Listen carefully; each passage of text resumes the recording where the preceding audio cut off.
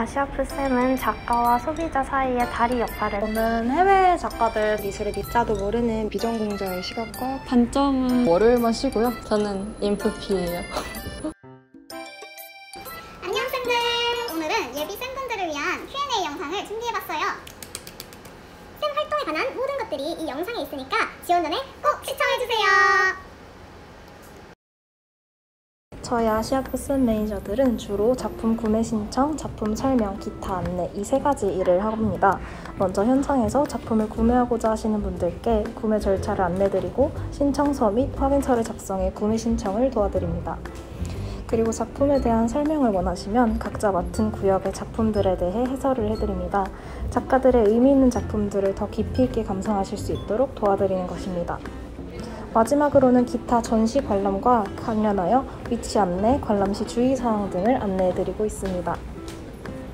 아시아프쌤은 작가와 소비자 사이의 다리 역할을 하고 있습니다. 그래서 작가님이 보내주신 작업 노트를 참고해서 작업에 대한 설명을 해드리고 그리고 구매를 원하실 때 구매 신청서와 영수증 작성을 도와드리고 있습니다. 어, 저는 2주 전부터 제가 맡은 작가님들의 작품 정보를 숙지하고 어, 전시장 동선을 확인하고 또 인스타를 찾아보면서 작가님들의 성향을 파악했습니다. 어, 저는 해외 작가들 담당을 하게 되었는데 어, 해외 작가라고 해서 지원 방법이 국내 작가 담당분들이랑 크게 다르지는 않아요. 어, 다만 해외 작가는 외부 갤러리 소장품을 판매하고 있기 때문에 갤러리와 일한다고 보시면 돼요. 그래서 작품 판매 방식도 좀 다르고요. 어, 그래서 갤러리에서 이제 어, 아시아프 개최 1, 2주 전에 연락이 오고 거기서부터 이제 작가 및 작품 정보를 인수를 받고 그 후에 쌤 활동을 하게 됩니다. 아니요 그렇지는 않고요. 저도 공대생인데 하고 있어요. 저는 이제 개인적으로 전시 해설에 관심이 있어서 찾아보다가 아시아프 활동을 지원을 하게 됐는데요.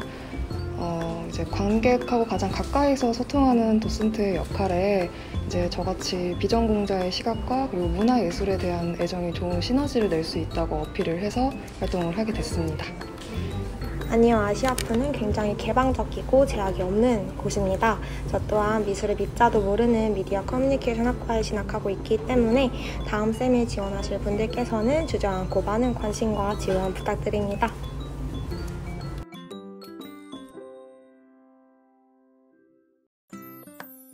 네, 미술관이 휴관하는 월요일만 쉬고요. 저희는 2주 동안 계속 활동을 하고 있습니다. 상업 미술에 관심이 있거나 전공자라면 꼭 한번 신청해 보셨으면 해요. 사람들이 오래 멈춰 있는 그림은 어떤 류인지 그리고 또 인기가 많아도 팔리는 그림은 따로인데 그 그림은 어떤 성향을 지녔는지를 구분해낼 수 있는 좋은 경험이라고 생각합니다. 단점은 자원봉사라는 점인데 대중교통비가 조금 부담이 돼요. 하지만 돈 버는 알바는 언제든 할 수 있기 때문에 쌤 활동은 더 값진 경험을 쌓을 수 있다고 생각합니다. 장점은 이제 좀 여유로운 아침을 보낼 수 있다. 그러니까 제가 아침잠이 좀 많은 편인데 이제 좀 알람을 안 맞추고 자도 늦게 일어나도 충분히 여유 있게 여기 장소에 도착할 수 있다가 장점인 것 같고 단점은 이제 활동이 끝나면 좀 하루가 다 간 것 같은 느낌. 그래서 이거 외에는 이제 오후 저는 만족합니다. 4시간 30분 동안 전시장 안에서 앉아있거나 서 있어야 하기 때문에 체력이 중요하고 또 관람객과 가장 가까이에서 소통하는 사람이기 때문에 책임감을 가지고 있어야 합니다.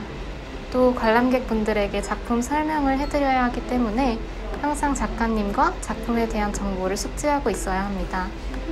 쌤은 관람객들과 소통 능력이 가장 중요하다고 생각합니다. 관람객들이랑 소통을 통해 작가의 의도를 알려주어 작품의 이해를 도와주는 매개자 역할을 맡았기 때문에 쌤은 관람객들에게 먼저 다가가는 것이 중요합니다. 저도 MBTI가 INFP라서 처음에 걱정을 많이 했는데요.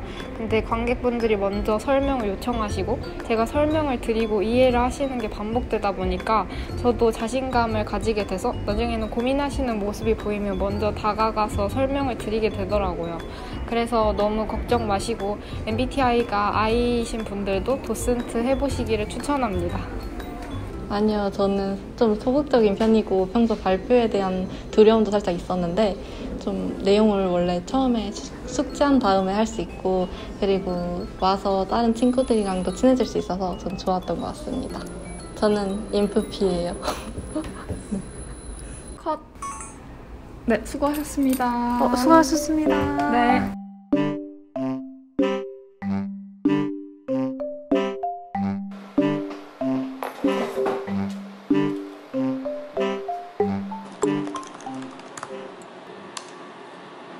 사진 영상 쌤은 도슨트 일은 병행하지 않고요. 전시장 모습을 매일 사진으로 기록하고 영상을 촬영 편집합니다.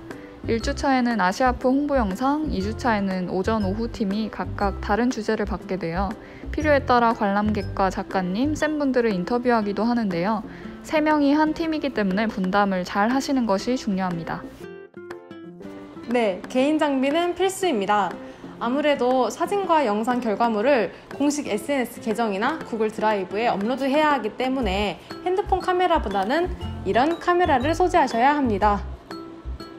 또 영상 편집 경험이 있으신 분이라면 활동하기에 수월하겠지만 없으시다면 미리 공부를 철저히 하셔야 합니다. 저희가 준비한 영상은 여기까지고요. 추가 질문은 댓글로 남겨주세요. 영상이 유익하셨다면 좋아요와 구독, 알림 설정까지!